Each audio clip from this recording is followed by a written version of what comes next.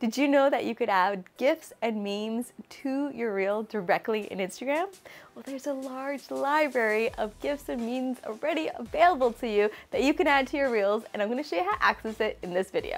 Hi, I'm Wonderful Ida, a content creator and social media marketer for impact-driven organizations. If you wanna learn how to work with me, please visit my website, wonderfulida.ca. They don't always have all the options that you might want, but there's still a lot in here. So how to access it is you go into your Reels and then you'll see up here Clip Hub. And it has a whole bunch of clips that you can actually use. So you can scale it. It goes from the wide to the zoomed in.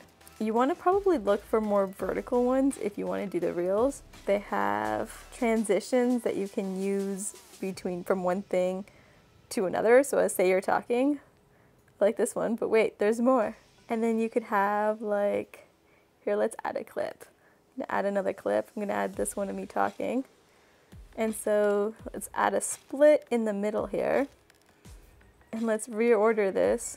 So you could have yourself like introducing something, talking about something,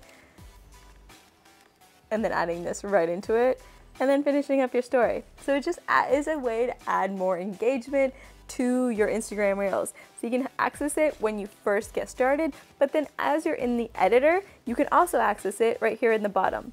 And so you have your transitions. There's a bunch here you can use. There's TV and movies. If you grew up in the 90s, you know what this is. Let's add it here. Let's split this. I'm probably not talking about something funny, but this just makes this more engaging. So you can see I can have a clip of me,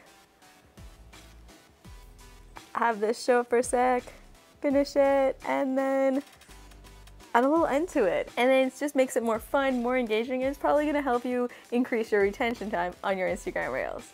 If you have any real questions you want me to answer, please leave them in the comments so I can answer them in a future video. Till next time, peace!